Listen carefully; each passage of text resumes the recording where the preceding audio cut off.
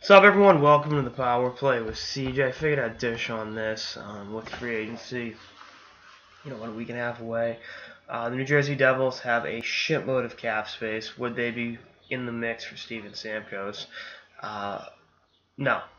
Here's why. July 1st has never really been a great day for the Devils. Looking at you, Ryane Clowe.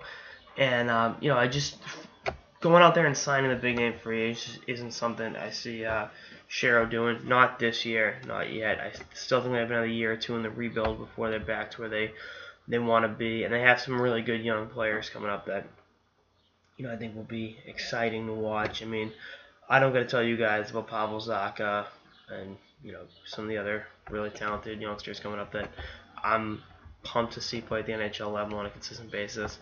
Uh, so, you know, I, I, don't think they're going to bother deviating from that path just yet. And they've got a lot of their own in-house free agents to re-sign.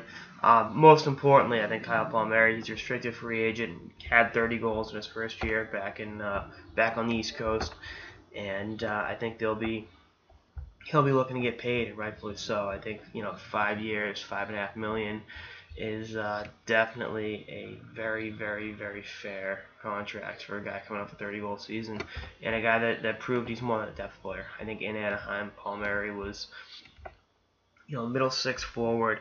I don't want to say lost in the shuffle because I mean they, they knew how good he was, um, but you know, a guy that just kind of did his job, went about his business, and in New Jersey, you know, getting a, a lot more, you know, power play time and you know, consistent offensive zone starts and shit like that. He was able to have, you know, a really, really great offensive season. So, you know, that's that's gonna be one thing. If you put a gun to my head and said, guess one big name free agent the Devils could sign, I guess Loui Eriksson.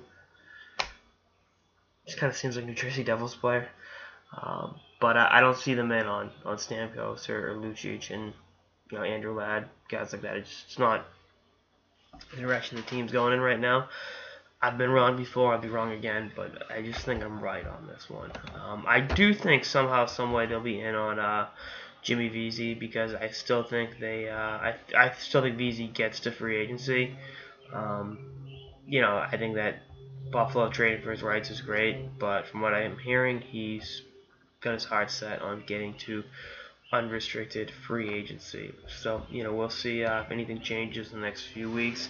But I think the Devils will definitely they get enough local connections, enough you know Boston area guys to, you know, between the team and the uh, and the front office, and even John Hynes being a, a BU guy, um, to, to really put on a, a good full court press. And the, their courting of Jimmy Vesey, but yeah, I think that's going to be as far as they'll go.